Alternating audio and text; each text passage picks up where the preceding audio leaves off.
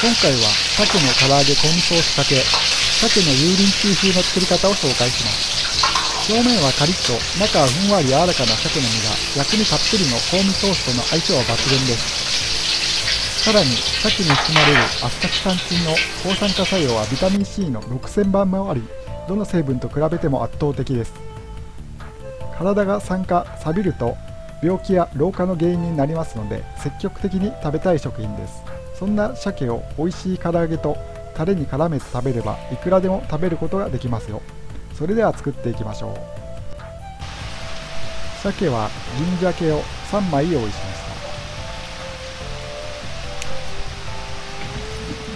た。骨と皮を取り一口大にカットしていきます。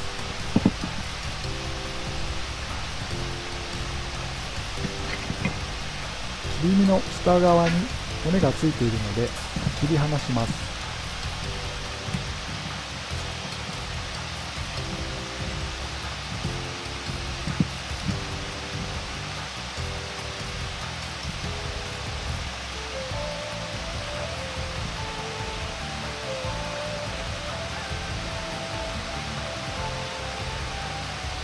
皮は包丁の刃で押さえて手で引っ張るようにして引き剥がします。皮も後で使うので4等分にカットしておきます。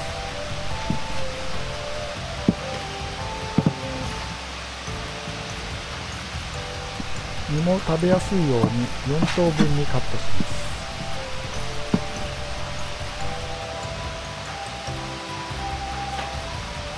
小さい骨がまだ残っているので取り除きます。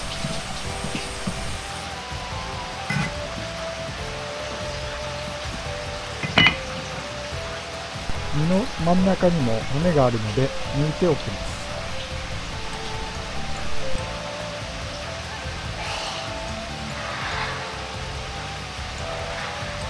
これで身と皮のカットができました。鮭に重曹を小さじ1分の1と酒を少量入れ臭みを抜きます。皮にもしておきます。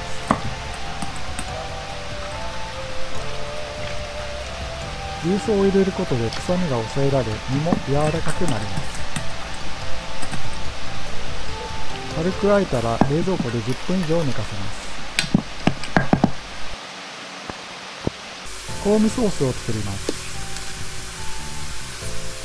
砂糖大さじ2と2分の1酢大さじ2水大さじ1醤油大さじ2と2分の1ごま油大さじ1と2分の1にんにく生姜ネギパセリを各大さじ1入れます。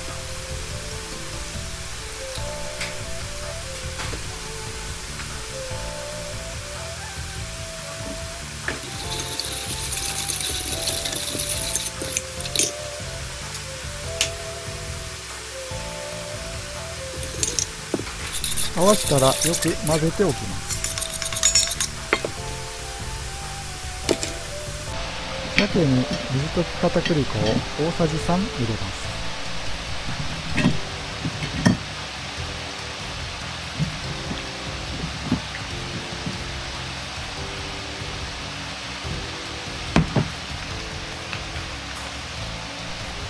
小麦粉を大さじ1入れて混ぜ合わせます。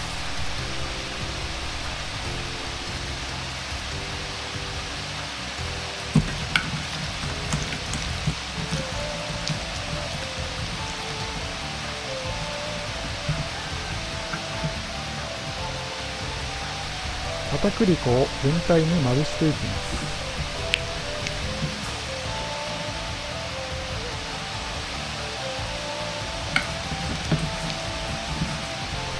鮭の身一つ一つに片栗粉をくっつけます。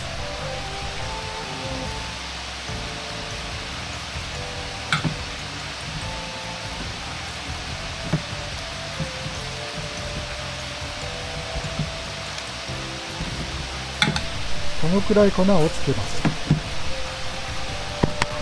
皮にも片栗粉だけを薄くまぶしておきます。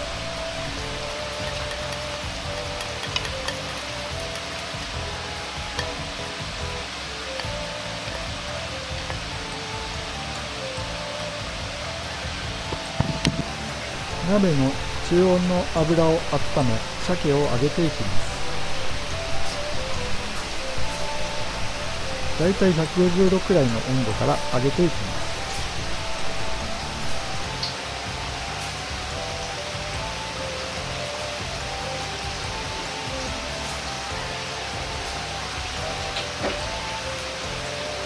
揚げ時間は3分を目安に揚げます。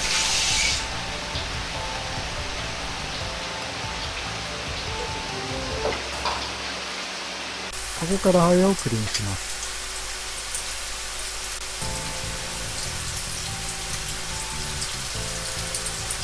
初めは触らないでそのまま揚げて表面が固まってきたらお玉や箸で混ぜながら揚げていきます。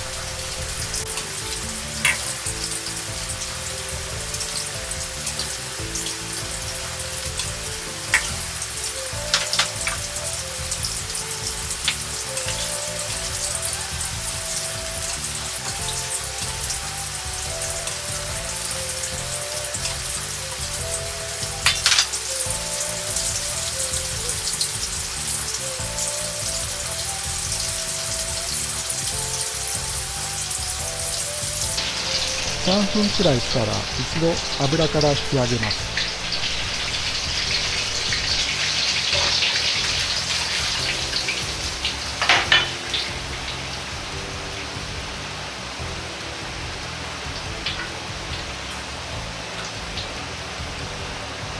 油の温度を上げ再度揚げていきます。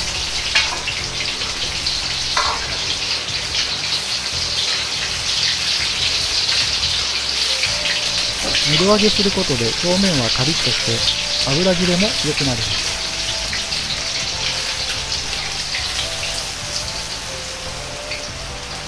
10秒くらいで油から引き上げます。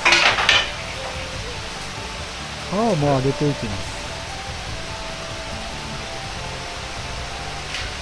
皮には水分が多く含まれているため油が冷めるので注意して揚げてください。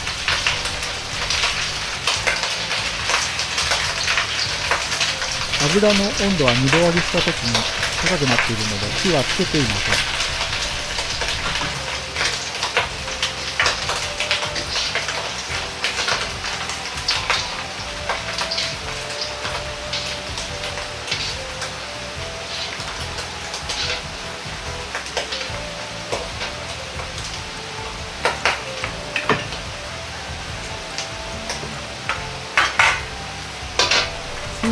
けて跳ねなくなってきたら揚げ上がりです。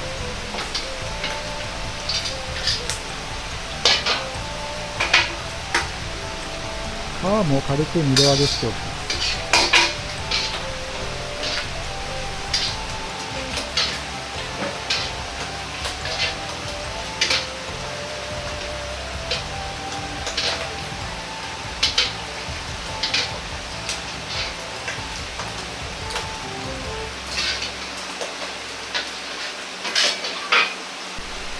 鍋の油を切りタレを一度沸かしておきます。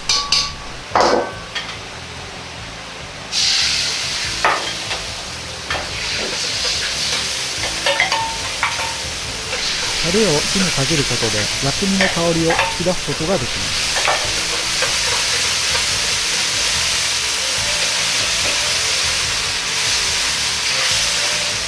完全に沸いたらボウルに取っておきます。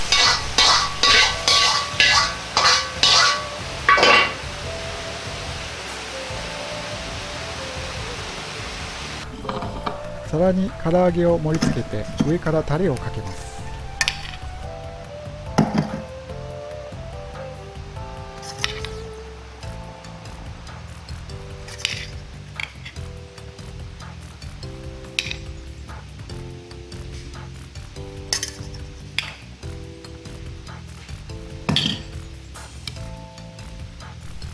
8等分に切った大葉をのせます。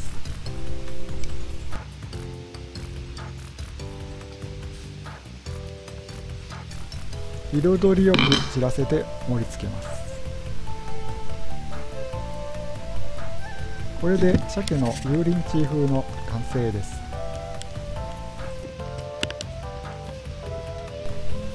ふんわりとした鮭の身とカリカリの皮の2つの食感が楽しめます。